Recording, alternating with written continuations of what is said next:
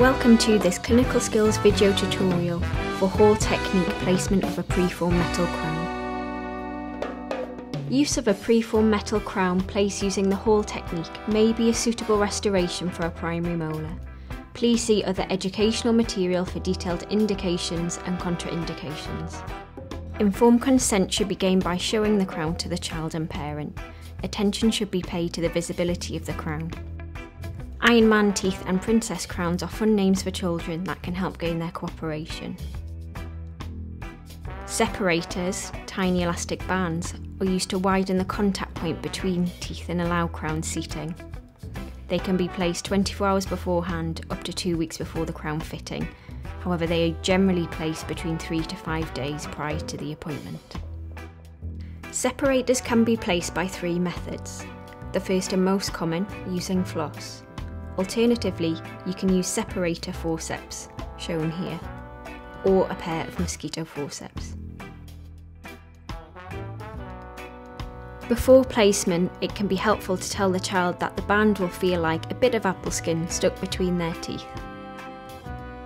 We will demonstrate the most commonly used method, which is floss. Put two pieces of floss through the separator as shown. Ensure you have enough floss to wrap around your fingers and hold tension.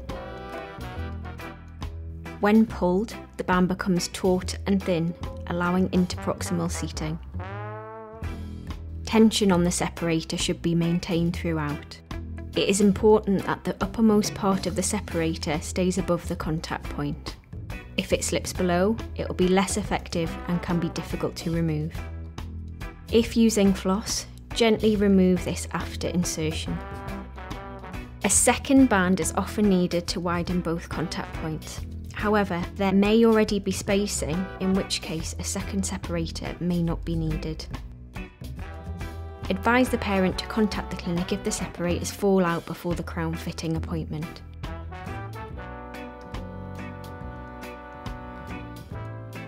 At the next visit, the separators can easily be removed with a ball-ended probe or spoon excavator.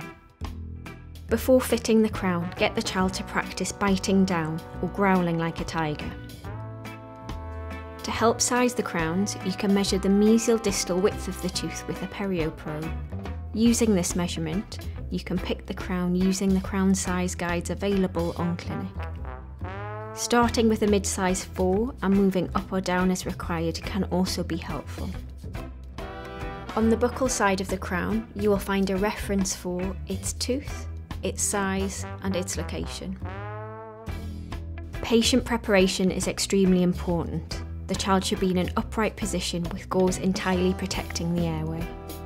Explain to the child you are trying on the crown for size, just like trying on a pair of shoes. When checking the fit, the crown should not be fully seated, as removal could be difficult and uncomfortable. Spring back should be felt at the point of maximum width. Half fill the crown with a low viscosity GIC luting cement. Encourage it up all sides with a flat plastic. Warn the child the glue can taste a bit salty. Place the crown onto the tooth, applying firm pressure with your thumb. Instruct the patient to bite hard on a cotton wool roll.